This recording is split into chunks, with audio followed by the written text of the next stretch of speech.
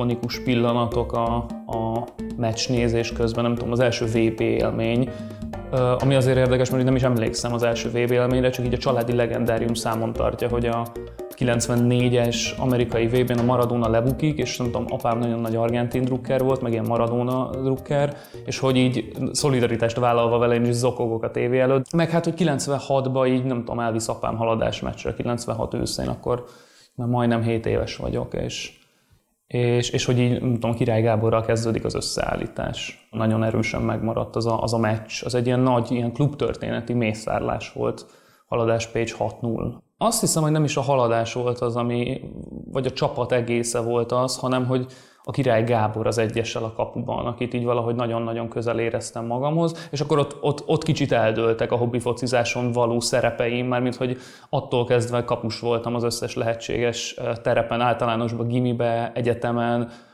nagypályán, kispályán, műfűvön, parkettán, és hogy a, hogy a király az végig egy ilyen ilyen nagyon-nagyon fontos, nem tudom, hogyha fociról gondolkodom, akkor a Király Gáborról gondolkodom kicsit mindig, és hogy ez a szombathelyiségemhez is, nem tudom, mit sokat hozzátesz, és hogy egy ilyen népmesehőssé is uh, reáltam kb. magamban, hogy, hogy érted, hogy a legkisebb fiú, nem tudom, elmegy uh, Szombathelyről, és a fele királysággal jön vissza. A foci iránti figyelmem az mindig személyekre fókuszál, személyekre korlátozódott. Talán a haladásnak, nem tudom, a magyar válogatottnak a kivételével nem is nagyon volt jellemző, hogy, hogy valamelyik csapatért így oda lennék, de tényleg sokkal inkább az ilyen figurákhoz való vonzódás az, ami mindig építi a csapatok iránti vonzalmamat, hogy nem, tehát hogy ez nagyon jól megnyilvánul abban, hogy simán Real Madrid drukker voltam, amíg a Zidane a Real Madridban játszott, tehát hogy nem, aztán, aztán a Messi feltűnt a Barcelonában, és én simán Barcelona drukker lettem, tehát hogy ez a nagy ellentét, ami van a két csapat között, engem egyáltalán nem foglalkoztatott, mert azok a figurák foglalkoztattak, akik engem érdekelnek.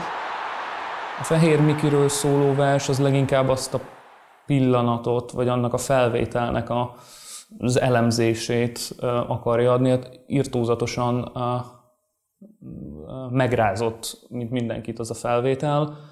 Az az érzelmi, széles érzelmi skála, amit az a felvétel bejár, a, a mosolygástól egészen az összeesésig, az a kvázi, nem tudom, 10 másodperc, hogy szakad az eső, és hogy egy nagy generációnak, vagy egy generációnak a nagy lehetőségével, ott nem csak egy, egy csatára veszik el a, a magyar focinak, hanem hogy így, így, így sok minden más is.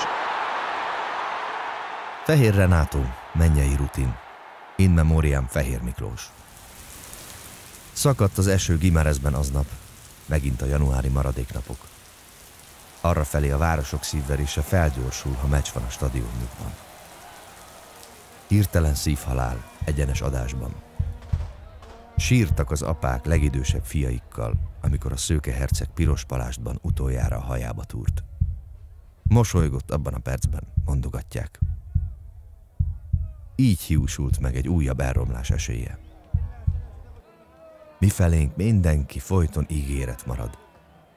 Mert ez az otthonukban uralkodó, de odakint csak kudarcokat halmozó családfők, a koporsóban hazatérő, nagy reményű csibészes bátyák országa. A válogatott mostanában jó játékkal bukik el. És vannak sorsdöntő selejtezők, amikor azt képzelem, ő is nevezve van. Legalább a cserék közé, a mennyei rutinokán. Aztán engem mindig újraélesztenek, és kiabálni járok ki meccsre, mert nem hallgat meg senki. Szemben a tribünön pedig a réges-régóta tehetségesek sorfala. Egytől egyik saját nevelés. Mind csatár, nem passzol, sosem kér cserét.